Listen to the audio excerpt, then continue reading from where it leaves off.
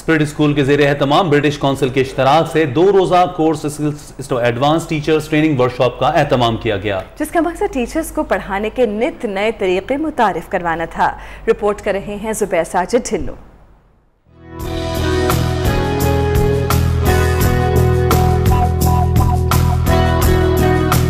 superior corporate office میں ہونے والی core skills advance teachers training workshop میں پنجاب بھر سے بارہ سکولوں کے اساتذہ نے شرکت کی۔ شرکا نے ورکشاپ کو معلومات میں اضافہ قرار دے دیا۔ یہ کریٹیکل تھنکنگ ہے جسے کہتے ہیں خود سوچنے کی۔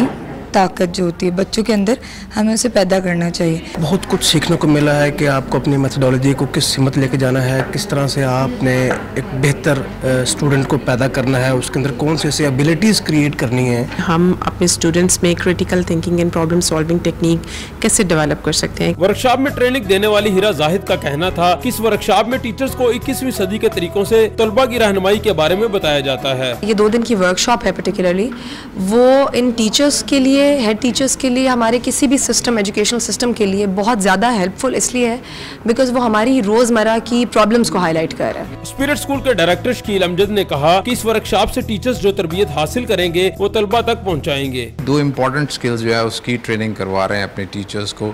ایک کریٹیکل تھنکنگ ہے اور ایک پرابلم سالونگ ہے۔ اسپیرٹ اسکول نے اساتذہ کو تربیتی ورکشاپ دلوانے کی روایت ہمیشہ کی طرح برقرار رکھی ہے جس سے اساتذہ کی رہنمائی بھی جاری رہتی ہے۔ یہ ہے اسپیرٹ اسکول کے وہ اساتذہ جنہوں نے حاصل کردہ تربیتی ورکشاپ سے طلبہ کو اعلیٰ معیار تعلیم فراہم کرنے کا عزم کر رکھا ہے۔ کیمرامین محمد اویس کے ساتھ زبیر ساجد ڈھلو نیو نیوز، لاہور۔